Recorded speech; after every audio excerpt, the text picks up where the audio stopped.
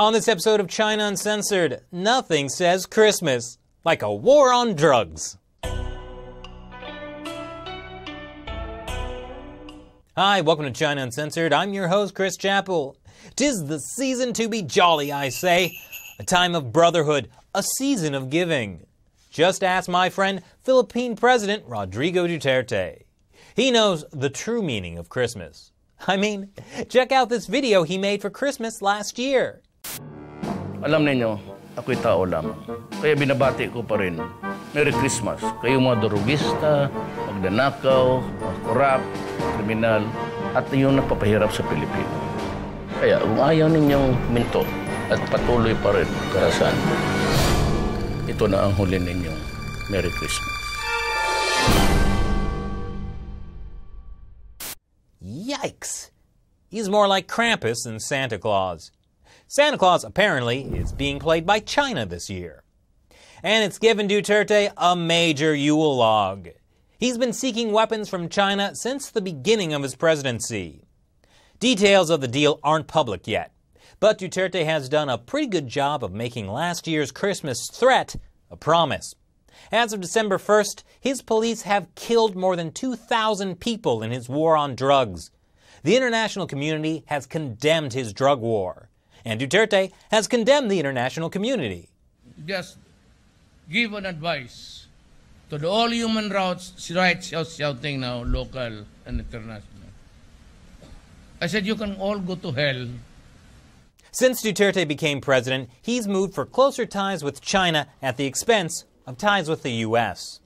Duterte even agreed to take a back seat on the hotly contested territorial dispute between the Philippines and China. So much so that Filipino fishing boats can visit the Scarborough Shoal again. Trust me, I know. But here's the thing Duterte wants help from China fighting his war on drugs.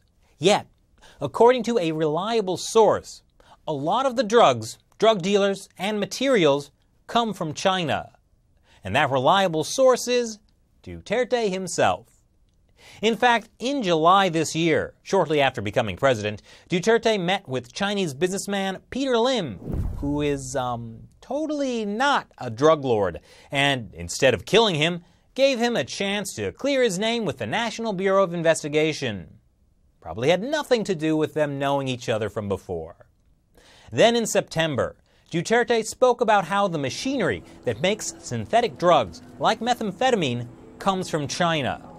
Lahat ng materials galing sa China. If you consider us as your friend, you want to help us.